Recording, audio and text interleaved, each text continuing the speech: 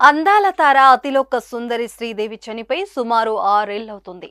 దుబాయ్లో శ్రీదేవి ఆకస్మిక మరణం అందరినీ విషాదానికి గురిచేసింది శ్రీదేవి ప్రమాదవశాత్తు మరణించారనే విషయం అప్పట్లో సంచలనంగా మారింది. అయితే శ్రీదేవిది సహజ మరణం కాదంటూ అనేక మంది తమ సందేహాలను వ్యక్తం చేశారు.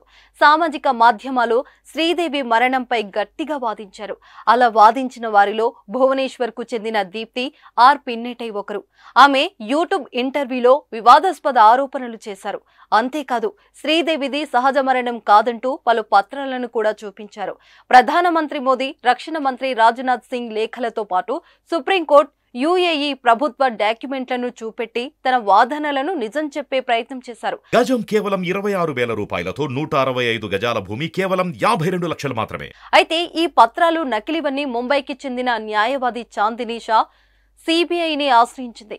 ఈ ఫిర్యాదులో దీప్తి న్యాయవాది భరత్ సురేష్కు కూడా చేర్చింది. దీనిపై దర్యాప్తు చేపట్టిన సిబిఐ దీప్తి చూపెట్టిన పత్రాలు ఫేక్ అని తేల్చింది. ఈ మేరకు దీప్తి ఆమె న్యాయవాదిపై సిబిఐ కేసు నమోదు చేసి దానిని ప్రధానమంత్రి కార్యాలయానికి రిఫర్ చేసింది. తన వాంగ్మూలం లేకుండా సిబిఐ ఛార్జీషీట్ దాఖలు చేయడంపై దీప్తి అభ్యంతరం వ్యక్తం చేస్తున్నారు. శ్రీదేవి అంటే అప్పట్లో ఓ సంచలనం. అందానికి కేర్ ఆఫ్ అడ్రస్గా ప్రతి ఒక్కరూ ఆమెను తమ కలల రాణిగా చెప్పుకునేవారు. అంతలా ఆమె అందం అభినయం ఉండేది. ఇక తెలుగులోనే కాదు సౌత్ అన్ని భాషల్లో తనకంటూ ఒక ప్రత్యేక క్రేజ్ సంపాదించుకుని తర్వాత బాలీవుడ్లోకి అడుగుపెట్టింది. అక్కడ సైతం హీరోలకు మించిన క్రేజ్ను సంపాదించుకుని పాన్ ఇండియా స్టార్డమ్ కొట్టేసింది. ఇక వరుస సినిమాలు బోనీ కపూర్తో ప్రేమ వివాహం పిల్లలు ఇలా ఆమె జీవితం గడిచిపోయింది.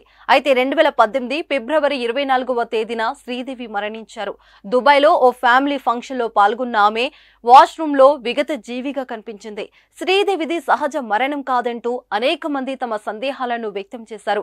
శ్రీదేవి మరణించి ఏళ్ళు గడుస్తున్నా ఇప్పటికీ ఆమె మరణం మిస్టరీగానే మిగిలిపోయింది.